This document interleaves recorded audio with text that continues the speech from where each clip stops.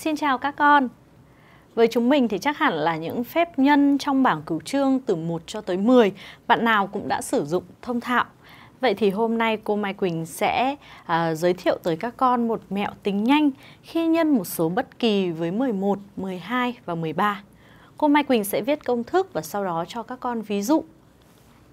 Nếu các con nhân một số tự nhiên có hai chữ số ký hiệu là AB với 11 thì các bạn sẽ thu được một số tự nhiên mới có 3 chữ số, gồm 3 thành phần chữ số sau đây. Số thứ nhất, thành phần vẫn là A.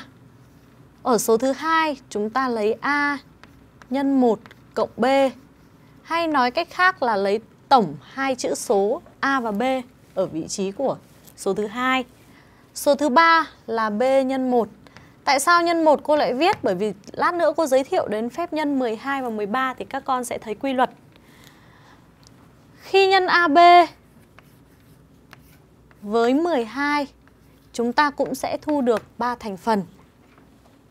Thành phần số, chữ số đầu tiên là A. Chữ số thứ hai, chúng ta lấy A nhân 2 và cộng với B. Thành phần số thứ ba sẽ là B nhân 2. Đó, chúng mình thấy quy luật chưa nhỉ?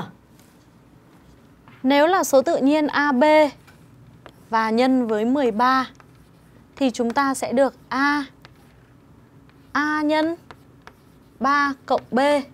Đó, thành phần số thứ hai. Thành phần số thứ ba là B nhân với nhân với 3. Cô sẽ ví dụ cho chúng mình như sau nhé.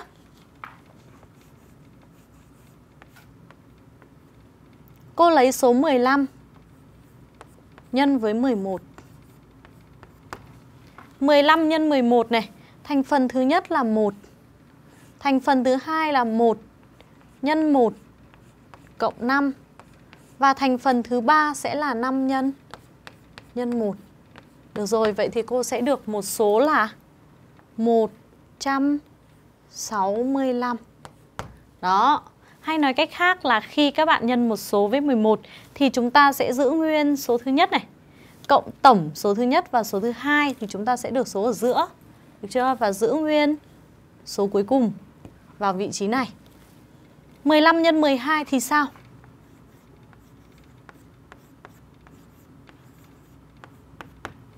Thành phần số thứ nhất là 1. Thành phần số thứ hai thì chúng ta sẽ được 1 nhân 2 cộng 5. Thành phần số thứ ba chúng ta được 5 nhân 2. Cô bắt đầu tính này. Mình có 5 x 2 là 10 thì chúng ta sẽ viết 0 và nhớ nhớ 1. Nhớ 1 nhá. 1 x 2 là 2. Cộng với 5 là 7. Nhớ 1 thì là 8. Và ở đây chúng ta sẽ được 1. Ví dụ tiếp là cái 15 này. Nếu nhân với 13 thì các con sẽ có thành phần thứ nhất là 1, thành phần thứ hai là 1 nhân 3 cộng với 5. Và thành phần số thứ ba sẽ là 5 nhân 3. Chúng mình sẽ có kết quả như sau. 5 x 3 15 chúng ta viết 5 và nhớ 1. 1 x 3 là 3 cộng 5 là 8 và nhớ 1 thì được 9. 1 viết 1. Kết quả của 15 x 13 là 195. Chúng mình thấy thực hiện dễ không nào? Còn ba chữ số thì sao nhỉ? Chúng ta sẽ làm tương tự bằng cách là cô sẽ viết công thức tổng quát cho các con. Ví dụ cô có số ABC là số có 3 chữ số. Khi nhân với 11 thì chúng ta sẽ được kết quả của một phép tính có 4 chữ số với các thành phần số như sau. A. Số thứ hai là A nhân 1 cộng với B. B nhân 1 cộng với C và C nhân 1. Khi lấy ABC nhân với 12 cô sẽ được thành phần thứ nhất là A, thứ hai là A nhân 2 cộng B. Thứ ba là B nhân 2 và cộng với C. Thứ tư sẽ là C nhân 2. ABC nếu nhân với 13 thì cô sẽ có thành phần thứ nhất là A. Thành phần thứ hai là A nhân 3 và cộng B. Thành phần thứ ba sẽ là B nhân 3 và cộng C. Thứ tư là C nhân 3. Ví dụ bằng con số cụ thể được không?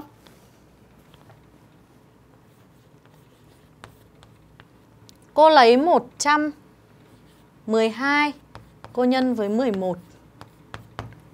Nào đầu tiên chúng mình sẽ có 1. Sau đó chúng mình sẽ có 1 nhân 1 cộng 1. Tiếp theo là 1 nhân 1 cộng 2. Cuối cùng sẽ là 2 nhân 1. Đúng không? Cái này là cô viết phép tính, còn sau này trong quá trình thì chúng mình sẽ nhẩm nhanh. Vậy mình sẽ được là 1 Ờ, à, 1 cộng 1 thì được 2 Này thì được 3 này. 2 Đó. 112 mà nhân với 12 Sẽ bằng 1 giữ nguyên. Thành phần thứ hai là 1 nhân 2 cộng 1 1 nhân 2 cộng 2 và 2 nhân 2 Tính nhá. 1 1 nhân 2 cộng 1 thì được 3 1 nhân 2 cộng 2 thì được 4 Và 2 nhân 2 chúng mình được 4 nữa. 112 nhân với 13 Thành phần số thứ nhất là 1 1 nhân 3 cộng 1 1 nhân 3 cộng 2 Bao nhiêu nữa? 2 x 3 Tính nhanh giúp cô nào. Chúng mình sẽ được 1 4 5 6 Ồ, bây giờ cô sẽ thử một chữ số mà chúng mình không cần viết các phép tính này ra. Và chúng ta sẽ tính thật nhanh. Cô sẽ thử số 212 nhân với 13 Đầu tiên thành phần của chúng ta sẽ là gì nhỉ? 2 Sau đó là 2 nhân 3 và cộng với 1 Thì được 7 Sau đó là 1 nhân 3 và cộng với 2 Được 5 Cuối cùng là 2 nhân 3 Được 6 Các con biết cách kính chưa nào? À như vậy thì uh, cô hy vọng rằng là khi mà các con học toán các con sẽ tìm được những hứng thú và niềm đam mê à, bằng những cái câu hỏi lý thú, những mẹo tính nhanh và những bài toán vui. Xin chúc các con luôn luôn học tốt.